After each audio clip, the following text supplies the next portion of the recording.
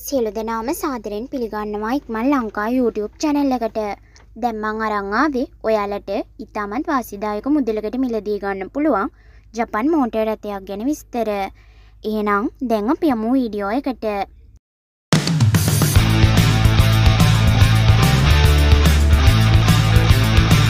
මේක දෙදා අවුරුද්ද ජපානය නිෂ්පාදනය කරලා දෙදස් තුන අවුරුද්දි රෙජිස්ටර් කරපු ටොයොට සොලූන මෝටර් රථයක්.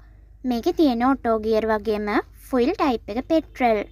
මෝටර් රථයේ එන්ජිම සුපිරියටම වැඩ කරනවා වගේම මේකේ බොඩි, චැසි, පේන්ට්, සීට්, අපොස්ටිං, ටයර්, බැටරි වගේ හැමදේම ඉතාමත් හොඳ තත්ත්වයෙන් තියෙනවා. මෝටර් රථයේ ඔරිජිනල් පොත ඇතුළු සියලු ලියකියවිලි තියෙනවා වගේම ලයිසන් ඉන්ෂුරන්ස් අප්ඩේට් කරලා තියෙන්නේ. මේකේ මුළු මුදලම වෙන්නේ 24 ලක්ෂ 40000ක් විතරයි. වාහනේ බලලා මිල ගණන්තව සාකච්ඡා කරගන්නත් පුළුවන්. මෝටර් රථේ තියෙන්නේ කඩවෙත. අයිතිකරුගේ ෆෝන් නම්බර එක තමයි 076යි 15යි 51යි 569.